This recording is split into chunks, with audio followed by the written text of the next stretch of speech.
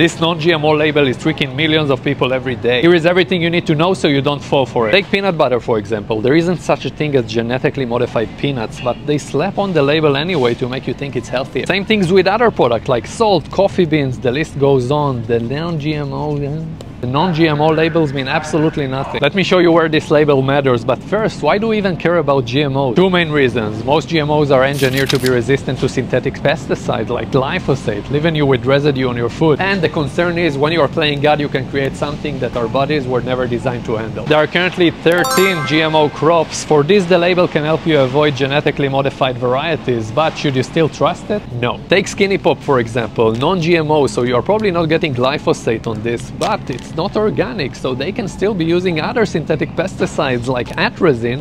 It's actually a very common practice on corn. Organic certification guarantees you are getting a non-GMO product and no synthetic pesticides were ever used. Send this video to your non-GMO friends and follow for more content.